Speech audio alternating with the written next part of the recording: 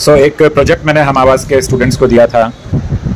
वर्तमान समय में जीने के लिए हमें क्या क्या आवश्यक है और क्यों ये जल्दी ही कैडेट हो सकती हैं? प्रियंका।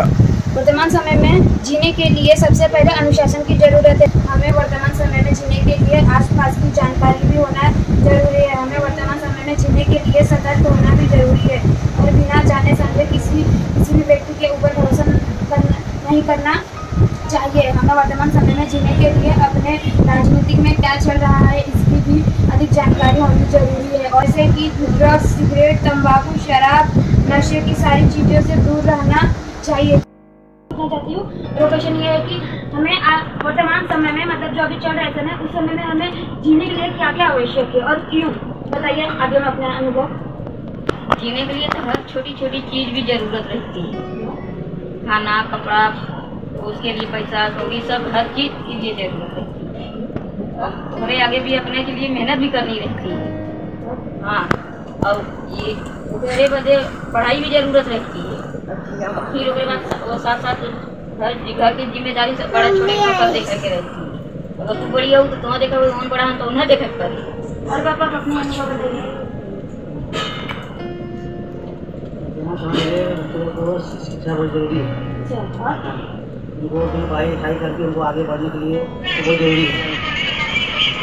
आज की वीडियो में अपने सर से क्वेश्चन करना चाहती हूँ और क्वेश्चन ये है कि सर वर्तमान समय में हमें जीने के लिए क्या क्या आवश्यक है और क्यों? बताइए। आज के वर्तमान समय में हमें जीने के लिए सबसे पहले तो शिक्षा। शिक्षा हमें इस लायक बनाता है कि हम बाकी सारी चीज़ों को एक्वायर कर सके यानी कि ले सके। शिक्षा अच्छी होगी तो उस अच्छी शिक्षा से हम अच्छा कमा सकते हैं समाज अच्छा बना सकते हैं और जो भी हमारी जरूरतें होंगी उसे हम पूरा कर सकते हैं। नाम बताइए क्या है? हम आवाज़ प्रश्न आपको दिया गया था वर्तमान समय में जीने के लिए हमें क्या क्या आवश्यक है और क्यों? और साथ ही हमें शिक्षित होना चाहिए क्योंकि अगर शिक्षित रहेंगे तो भविष्य हमारा सुपर रहेगा।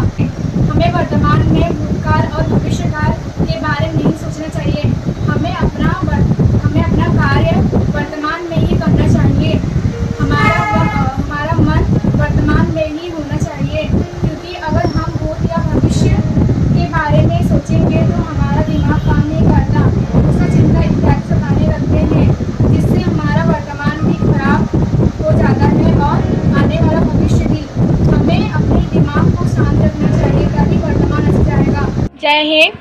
मम्मी, एक क्वेश्चन है कि वर्तमान समय में हमें जीने के लिए क्या आवश्यकता है और क्यों? वर्तमान में जीने के लिए व्यवस्था है कि बेटा, बेटी को पढ़ा के, लिखा के काबिलियत बनाए, अपने पैर पे खड़े हो जाए अच्छे से। किसी के सामने हाथ नहीं फैला सके।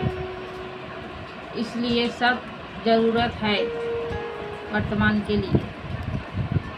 वर्तमान भी अच्छा रहेगा तो भविष्य भी अच्छा रहेगा। बेटा बेटी को अच्छा शिक्षा दे गलत राह पे कहीं नहीं जाए पर उसको ध्यान करने का हमेशा देखने का कहाँ जा रही कहाँ कर रही क्या कर रही क्या नहीं कर रही सब चीज़ का ये सब वर्तमान के लिए ज़रूरत है और भविष्य के लिए भी ज़रूरत है। हिंद सर सर मुझे आपसे एक क्वेश्चन है कि वर्तमान समय में जीने के लिए क्या आवश्यक है और क्यों? वो है शिक्षा एजुकेशन एजुकेशन होगा तो रोटी भी आएगी कपड़ा भी आएगा मकान भी आएगा।